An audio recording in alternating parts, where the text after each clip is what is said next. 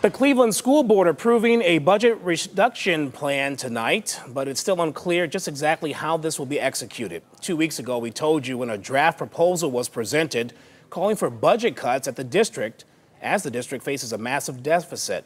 The district expects to save almost $34 million by cutting after school and summer programs covered by COVID 19 relief funding and another $5 million by eliminating 25 central office positions.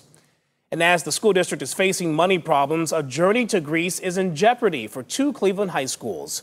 Just a few hours ago, teachers went before the CMSD school board with a desperate plea. News 5's Remy Murray was there and explains why educators say the students deserve this opportunity.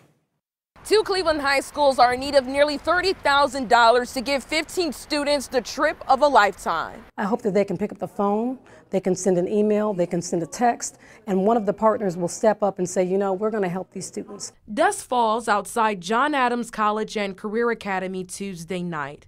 To some, the familiar Midwestern image is comforting, but for others, it could leave them wanting more.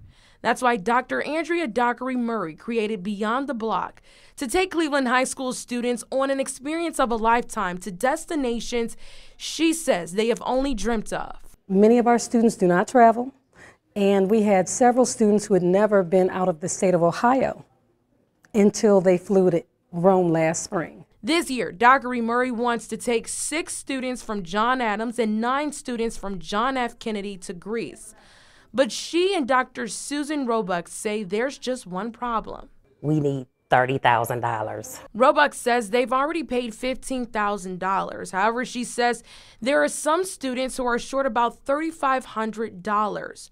Without it, students like Tyler Baker say some of his friends won't be able to go. Because everybody deserves to um, go out of international trips and see new things in the world and not just be stuck being an inner city school, Roebuck says it can be challenging for some families to come up with this money. Our families can't afford it.